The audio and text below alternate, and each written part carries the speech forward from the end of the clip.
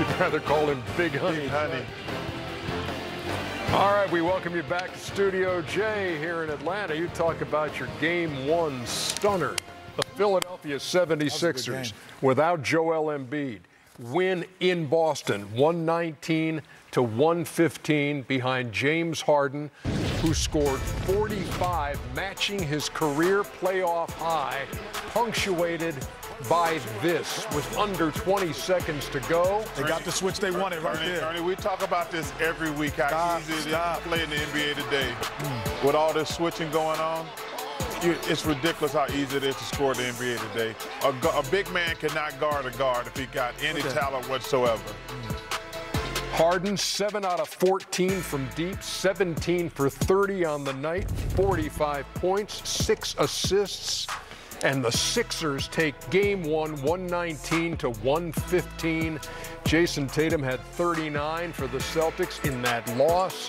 Jaylen Brown had 23, uh, had 14 of those in the first quarter.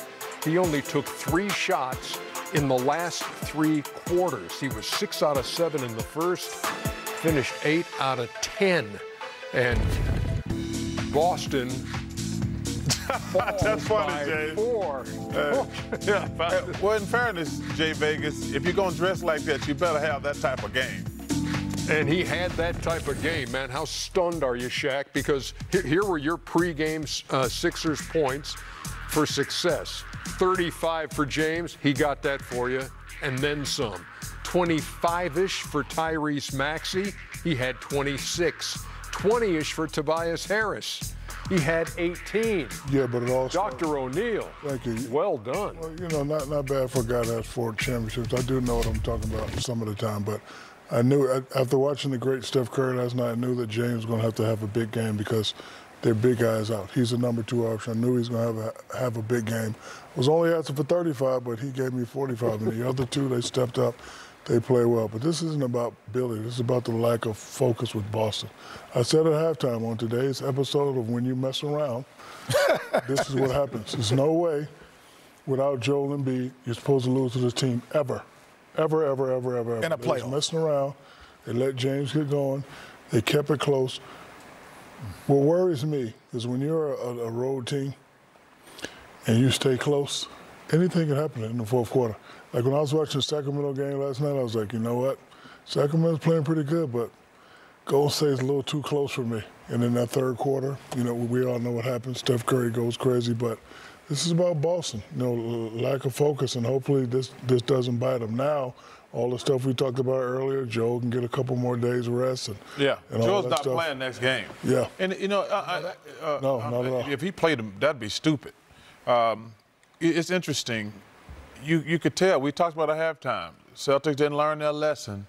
You look at this here, man. They had 10 fouls for the whole game and shot 60%. That tells you two things. If you shoot 60%, you should win going away. But if you only commit 10 fouls in a game, you ain't playing no defense whatsoever.